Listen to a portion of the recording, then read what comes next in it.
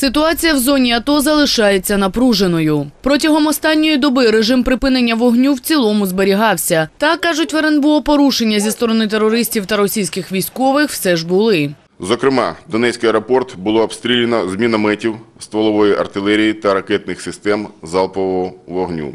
Донецький досі підконтрольний терористам. Містом їздять гради, вночі постійно чутно вибухи та постріли. Під час одного з обстрілів у Донецьку було зруйновано шахту. Активізувалися терористи в Макіївці. Там снаряд потрапив у автобус. Місцеві жителі кажуть, поранено шестеро людей, і одна людина загинула. Також бойовики тероризують місцеве населення. У Макіївці терористи примушують пацієнтів місцевої травматологічної лікарні оплачувати лікування своїх поранених. Поблизу українського кордону знову стоїть кремлівська гуманітарка. 200 вантажівок з гуманітарною допомогою, яка начебто призначена для жителів Донбасу. Та все, що зафіксували відеокамери, це мішки, картонні коробки з надписами «Сардина», залізні ящики та автомобілі, схожі на військові. Тим часом вже звільнено 57 українських військових, які були в полоні у терористів. Та робота з визволення заручників триває.